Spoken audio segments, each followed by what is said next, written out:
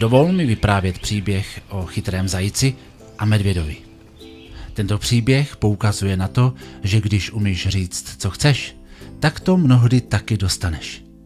Někdy může jít o maličkost, ale někdy může jít naopak o zásadní věc, která ti změní nebo dokonce zachrání život.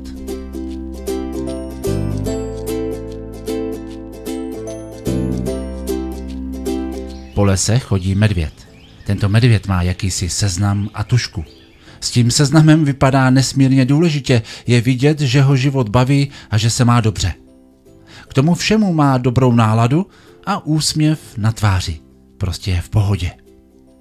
A najednou z ničeho nic potká lišku a radostně jí říká. Brum, brum, brum, mám hlad jako dům. Liško, mám tě na seznamu, jdi se loučit s rodinou, řekni jim, že zítra vstanu a sežeru tě, tak ať prominou. Liška nešťastná se slzami v očích spěchá domů a celou noc se loučí s celou rodinou. Ráno přišel medvěd, udělal chlamst, chlamst a lišku sežral.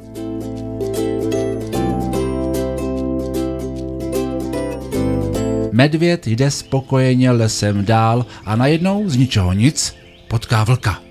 Medvěd se významně podívá na svůj seznam a říká vlkovi Brum, brum, brum, mám hlad jako dům. Vlku, mám tě na seznamu, jdi se loučit s rodinou, řekni jim, že zítra vstanu a sežeru tě, tak ať prominou. Vlk nešťastný se slzami v očích spěchá domů a celou noc se loučí s rodinou. Ráno přišel medvěd, udělal chlamst, chlamst a vlka sežral. Medvěd jde ovšem spokojeně lesem dál a najednou z ničeho nic potká zajíce. Medvěd se významně podívá na svůj seznam a říká zajíci Brum, brum, brum, mám hlad jako dům. Zajíci, mám tě na seznamu, jdi se loučit s rodinou, řekni jim, že zítra vstanu a sežeru tě, tak ať prominou.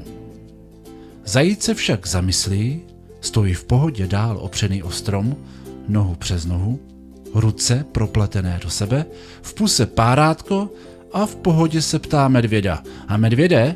On říká, no co pak? A zajíc, a mohl bys mě z toho seznamu vyškrtnout? A medvěd povídá, ale jo, proč ne? Medvěd udělal škrt, popřál zajíci hezký den a s úsměvem pokračoval hlubokým lesem dál. A jaké je ponaučení z toho plyne? Tak za prvé, neboj se kdykoliv vyslovit svá přání či otázky. Za druhé, zachovávej klid vyjednavače a přemýšlej. Za třetí, rozvíjej své myšlení nejméně 15 minut denně.